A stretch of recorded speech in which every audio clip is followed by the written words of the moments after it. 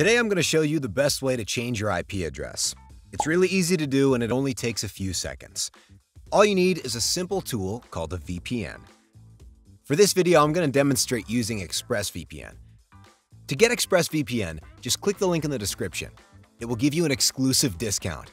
When you click the red button on the homepage, you'll automatically see the special prices, so you don't even have to enter a coupon code.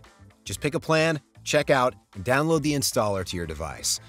The installation process is really quick. When it's done, launch the software. Log in using your credentials, and that's it. You're ready to change your IP address. To make it easy for you to see your current IP, I've included a link to my favorite IP checker tool in the description. Just give it a click and take a look. See how it detects your location? Now go to ExpressVPN and click the three dots to open up the server location list. Scroll down to find the country, or for easy access, type it into the search bar and hit enter. Select the country and then click the big connect button. That's it!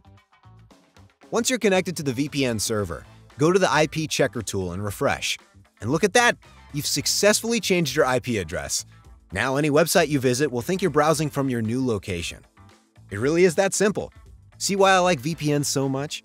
If you want to learn more, check the description for some useful links and some more information on what a VPN can do for you. If you found this video helpful, don't forget to give it a thumbs up and follow our channel for more great content.